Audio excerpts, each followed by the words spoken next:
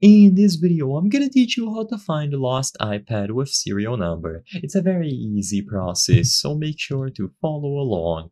In this video, I'm going to be talking about all of the main ways in which you will be able to locate your iPad, if it was lost or stolen.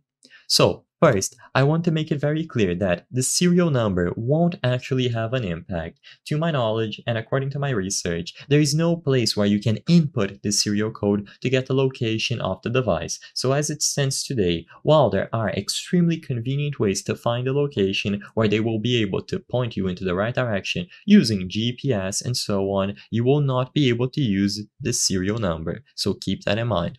So you can either do this process through any other Apple device. So if you have an iPhone, for example, you will be able to go over to the Find My app, which is a default application, helps you locate devices, or you can also do this process through a computer. Just open a web browser and go to icloud.com slash find.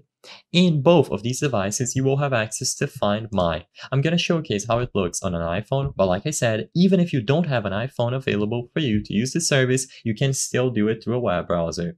So, in there, you will sign into your Apple account.